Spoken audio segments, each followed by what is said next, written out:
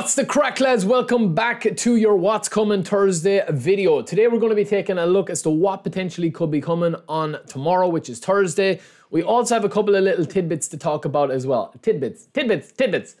Uh, but this special player list here, we kind of know the rinse and repeat nature of this now. We have on the Monday, we have our epic boosters. So Iniesta, Kaká, Sneijder, you still have a couple of days to get those and over the weekend.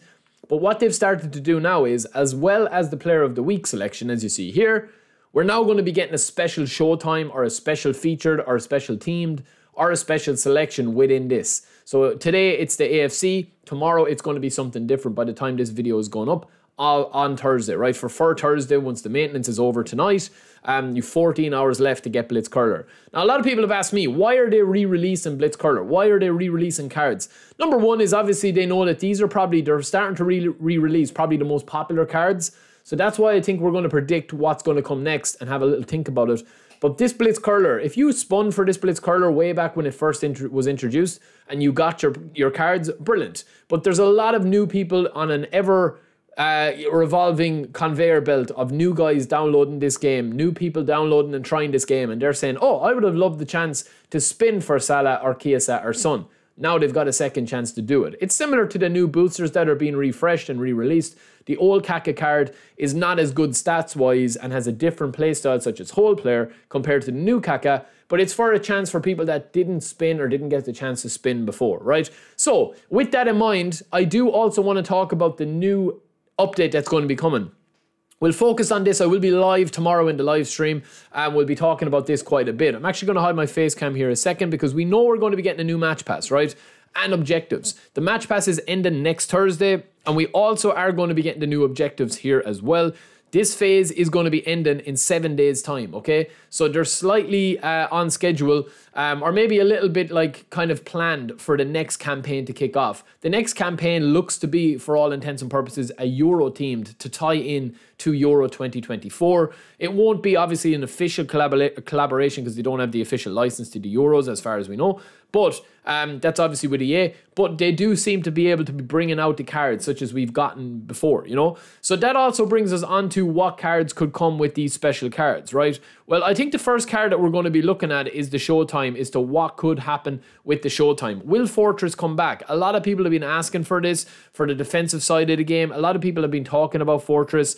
I personally, I'm in two minds over this, boys. I think it could be Fortress, or I also think that we might get something like this. If it's going to be Kante, Ronaldo, and Koulibaly again. Obviously, Ronaldo's broke breaking records, or he broke the record the other day that could come as well. And that's a kind of a pack where they might try and get, you know, a defensor, a defensive player, a CB and a CF and tie it in with the AFC pack, um, which we already had here. I mean, we already had this Champions League pack there. So maybe they'll re-release that one, which will be a popular Cristiano Ronaldo's always going to be popular. And then the Blitz Curler could be Fortress or could be another skill that they brought out.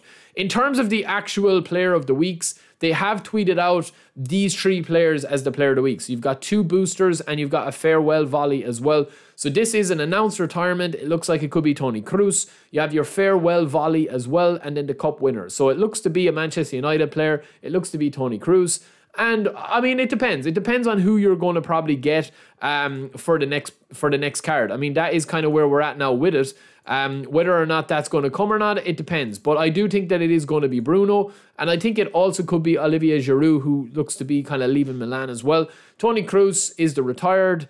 Olivier Giroud with the farewell um, volley, and then Bruno Fernandes with the cup winner. So it depends. It could be a, a manner of uh, players, but they usually try bring out kind of different type of types of players with these, especially with the boosters. So um, yeah, let me know what you guys think of that. I mean, with those predictions, and obviously you'll have the other predictions as well with the player of the weeks and stuff as normal. That's going to be your last chance to get these Blitz Curler and Player of the Weeks. We've also talked about the eFootball League and the new objectives. That new campaign will probably be kicking off. The new eFootball League will be there as well.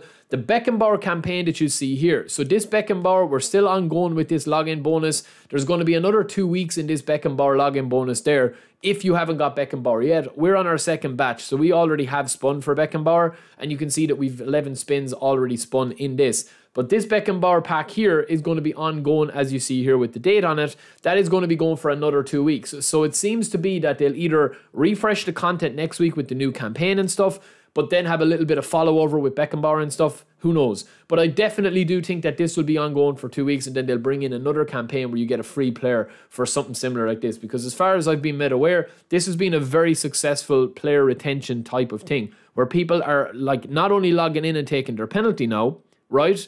They're also logging in and they're playing the event and they're clearing the objectives, which is what a lot of uh, you know people that are not going to spend money on coins, I mean, they're spending their time, you know, and time is nearly as valuable. Player retention is huge for free to play games because it's, you know, there's no investment as a free to play player. If you're not spending coins, all you can invest is your time. And that's kind of what uh, Konami will probably want to improve in the build up to eFootball 2025. So that is it for me. Let's just a quick video, short and sweet. On Wednesday, we always do this. And uh, I will talk to you guys tomorrow. We'll be live streaming. We'll go through everything as normal. Hope to see you there. I'll talk to you in a bit. Don't forget to subscribe and smash the like button if you're a beast. Peace.